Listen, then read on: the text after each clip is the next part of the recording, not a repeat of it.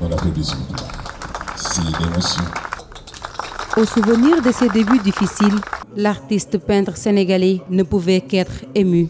Aujourd'hui, un public venu des quatre coins du monde pour fêter les 35 ans de carrière de Khalidou Kassé. de joie et de satisfaction que j'ai à travers cette manifestation qu'on vient d'organiser. Passionnés d'art, diplomates, hommes de culture, tous venus rendre hommage au surnommé le pinceau du Sahel. Et la surprise était au rendez-vous. Les tapisseries, je les connaissais moins. Et aujourd'hui, ben, son coup de pinceau, du pinceau du Sahel, ça fait une, une bonne couturière. L'art fait partie de ce qui fait vendre un pays, l'art fait partie de ce qui contribue à la notoriété d'un pays.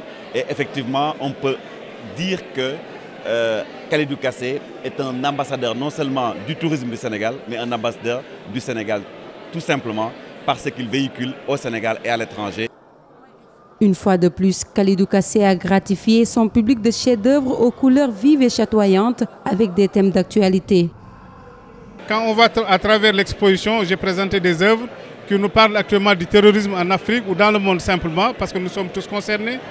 J'ai parlé de l'immigration clandestine à travers la pirogue, mais cette pirogue interpelle les États africains, parce que chaque État a aujourd'hui son drapeau représenté dans cette pirogue.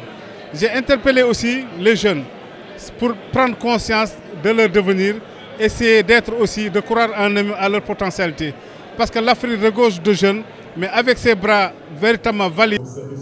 En ce jour important de sa vie artistique, Khalidou Kassé a procédé à une cérémonie de remise de grandes palettes des arts en guise de reconnaissance à ceux qui l'ont toujours soutenu. Ses fans, pour leur part, ont réservé aux 35 ans de carrière de Khalidou une fête à la dimension de l'artiste peintre.